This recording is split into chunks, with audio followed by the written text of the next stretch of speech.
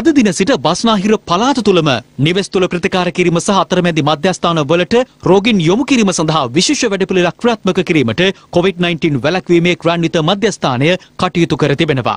මේ වැඩපිළිවෙල පිළිබඳව අප ඔබව දැනුවත් කිරීමට සූදානම් වන්නේ ප්‍රථම අධීර ලෙස බස්නාහිර පළාතේ අද දින මෙය ආරම්භවත් සමස්ත රටේම මෙම කොවිඩ් රෝගීන් නිවෙස් තුළ කළමනාකරණය කිරීම සිදු කිරීමට සෞඛ්‍ය අංශ සහ රජය තීරණය කර තිබෙන බැවිනි. අද දින සිට කොවිඩ් රෝගීන් කළමනාකරණය කිරීමේ විශේෂ වැඩපිළිවෙල බස්නාහිර පළාත තුළ ක්‍රියාත්මක වන්නේ මේ ආකාරයෙන්. මෙම ක්‍රමවේදය කෙටි පණිවිඩ SMS සහ දුරකථන ඇමුතුම් යන ක්‍රමවේද දෙකකින් සමන්විතයි. COVID-19 වැළඳුණු රෝගීන් පහත විස්තර ඇතුළත් කෙටි පණිවිඩයක් 19.04 මතක තබා ගන්න 19.04 දුරකථන අංකයට යොමු කළ යුතුයි.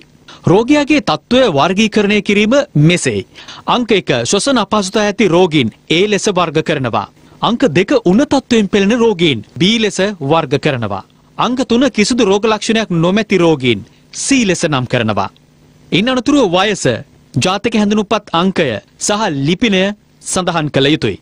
උදාහරණයක් ලෙස ශ්වසන අපහසුතා ඇති රෝගීන් ඒ ලෙස සඳහන් කර ස්පේස් හිස්තැනක් තබා වයස හිස්තැනක් තබා ජාතික හැඳුනුම්පත හිස් තැනක් තබා ලිපිනය සඳහන් කර හිස් තැනක් තබා SMS පණිවිඩයක් මගින් දහනවයයි බින්දුවයි හතරට යොමු කළ යුතුයි. SMS පණිවිඩ මගින් ලැබෙන තොරතුරු COVID-19 රෝග පැතිරීම වැළැක්වීමේ ජාතික ක්‍රියාන්විත මධ්‍යස්ථානය මගින් අදාළ ප්‍රතිකාර මධ්‍යස්ථානය වෙත යොමු කිරීම සඳහා වෛද්‍ය කණ්ඩායම් වෙත යොමු කරනවා. රෝගීන් ලබා දෙන තොරතුරු වර්ගීකරණය කොට දුරකථන අංක 247 මගින් සම්බන්ධ වී රෝගී තත්ත්වය නිශ්චය කර අවශ්‍ය ප්‍රතිකාර මධ්‍යස්ථාන වෙත යොමු කරනු ලබනවා. ඒ සඳහා ගිලන් රථ සේවා සහ නිකුත් ප්‍රතිකාර පහසුකම් සපයා දෙනු ලබනවා. නිවෙස් නිරෝධායනට යොමු කරන රෝගීන් වෙත වෛද්‍ය කණ්ඩායමක් දුරකථන මාර්ගයෙන් නිරතුරුව සම්බන්ධ වී අවශ්‍ය සේවා ලබා දෙනු ලබනවා. මේ සඳහා පමණක් වෙන් කර ඇති දුරකථන අංකය ඔබ මතක තබා ගන්න 13යි 90. 13යි 90 තුලින් ඔබට එම පහසුකම ලබා ගත හැකි.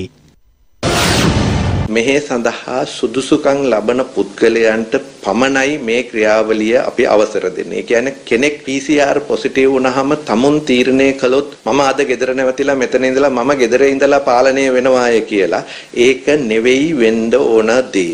ඒ අය තමන්ව හැකි ඉක්මනින් ප්‍රථමයෙන්ම තමා ඕනෑම අවස්ථාවක PCR පරීක්ෂණයක් පොසිටිව් වෙනවා නම් රෝහලකින් ඒ රසායනාගාරයකින් ඒක සිද්ධ වෙන්නේ එම ස්ථානයේ ඉඳලම ඒ පුද්ගලයාට අවශ්‍ය කරන මේ අපි ඇසෙස්මන්ට් එකක් කරන්න ඕන. ඒ සඳහා එක්ක රෝහලේදී ඒක කෙරෙන්න ඕන. එහෙම නැත්නම් සෞඛ්‍ය වෛද්‍ය නිලධාරී හරහා කෙරෙන්න ඕන. කරලා ඒ අයව නිවසේ බලාගත හැකි රෝගියෙක්ද කියන එක තීරණය වෙන්න ඕන. ඒකයි මම මෙතනදී ඔය දෙන දුරකථන අංකයක්වත් මම මෙතන සඳහන් කරන්නේ නැත්තේ. ඒ දුරකථන අංකය මෙතන සඳහන් කරපු ගමන් වෙන්නේ ඒකෙන් සියලු සේවාවන් ලැබෙනවා කියලා කණ්ඩායම් gedara නවතිනවා. ඒක වෙන්න බෑ. වෛද්‍ය නිලධාරීන් හා සම්බන්ධ වෙලා ඒකට රෙජිස්ටර් වෙලා ඒ අයත් එක්ක ඒ අයගේ අධීක්ෂණය යටතේ පමණයි නිවසේ රැඳී සිටිය යුත්තේ. එසේ නොකොට දුරකථන අංක වලට කතා කතා කරලා ඒකෙන් මේක ගන්න බෑ. ඒක කිරීම අවදානම් සහිතයි.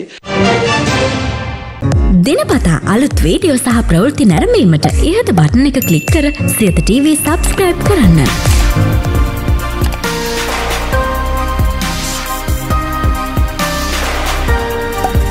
අලුත් වීඩියෝ ගැන මුලින්ම දැනගන්න මෙම සීනුව ක්ලික් කරන්න.